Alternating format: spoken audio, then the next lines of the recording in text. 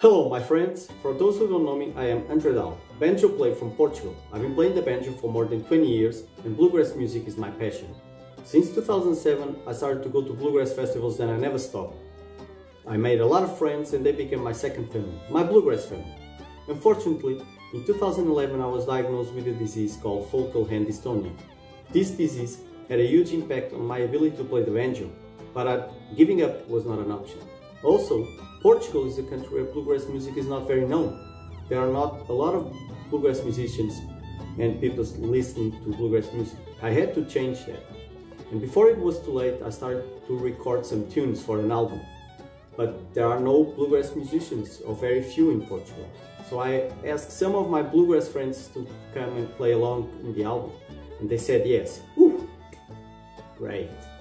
So there are 16 musicians from 10 different countries, 3 different continents in the album. It's really a universal bluegrass instrumental album.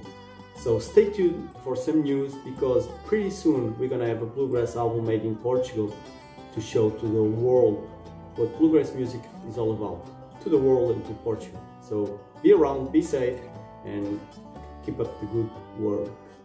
Cheers!